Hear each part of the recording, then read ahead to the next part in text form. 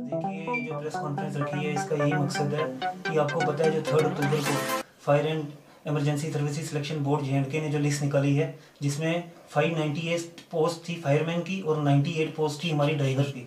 उसमें देखिए total discriminate किया है हमारे जम्मू प्रोविंस को। More than 90 percent of the seats जो हैं वो कश्मीर ले चुका है और जम्मू प्रोविंस के पास लेस देन 10 परसेंट सीट्स हैं तो हमारा यही इशू है जहाँ हम बात करते हैं रूल ऑफ़ लॉ की।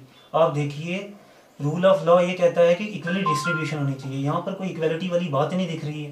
पहले तो हमें ये कहा जाता था कि 370 है 35 ए है, उसके कारण इक्वल डिस्ट्रीब्यूशन नहीं हो पा रही है। जो हमारे बड़े राजनीति बैठे हुए हैं, वो जनता को गुमराह, बेवकूफ़ बनाते हैं और सारी पोस्टें जो हैं कश्मीर की तरफ़ ले जाते हैं।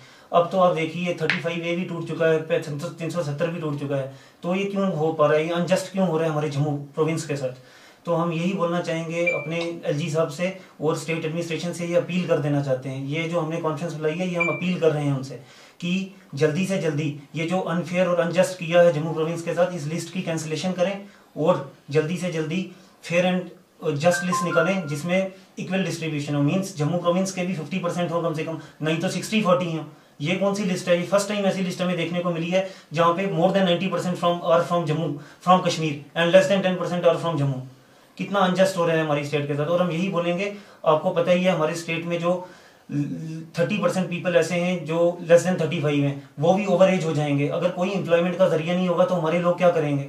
हमारी जो यूथ है, वो बड़ी लाचार हुई हुई है, बेरोजगार है, क्योंकि कोई एम्प्लॉयमेंट नहीं है। कोई इंप्लॉयमेंट जनरेशन की जो बातें करते हैं, बड़ी बड़ी, बड़े राजनेता, कुछ ऐसा हमें देखने को नहीं मिल रहा है। तो हम यही अपील कर देना चाहते हैं स्टेट गवर्नमेंट से मींस जो हमारे एलजी साहब हैं मनोज सिन्हा साहब, और हमारी स्टेट की एडमिनिस्ट्रेशन से, कि जल्द से जल्द इस लिस्ट की कैंसिलेशन करें। और बिल्कुल फेयर एंड जस्ट लिस्ट निकले जिसमें हमारे लोगों की भी पूरी हकदार हों जो हमारे जम्मू प्रोविंस के लोग हैं। धन्यवाद। तो सर अगर ना हुआ तो आगे क्या स्टेप उठाएँगे? सर अगर नहीं हुआ ये हमारी लिस्ट अगर इस लिस्ट की कैंसिलेशन नहीं होती तो हम बिल्कुल जो हमारी यूथ है अब हम यूथ को बिल्कुल एक्टिव कर रहे हैं। हमारी सुरन कोट मेंढर हर डिस्ट्रिक्ट में हमने पूरी बातें की हुई हैं अपने यूथ के साथ। हम जल्द से जल्द रोडों पे उतरेंगे और हड़तालें करेंगे। जो ठत्तर की एजुटेशन थी वैसी एजुटेशन हम लाने की कोशिश करेंगे। मर मिटने को तैयार हैं हम। जब हमारी यूथ ग्रेजुएट है पोस्ट ग्रेजुएट है, जब उन्हें कुछ नहीं मिल रहा, इतनी पढ़ाई करके तो वो क्या करेंगे बैठ के? इससे अच्छा तो यही है, हम मर ही जाए। हमारे मरने के बाद अगर दस बंदों को नौकरी मिलेगी, कम से कम हमारी आत्मा को तो शांति मिलेगी।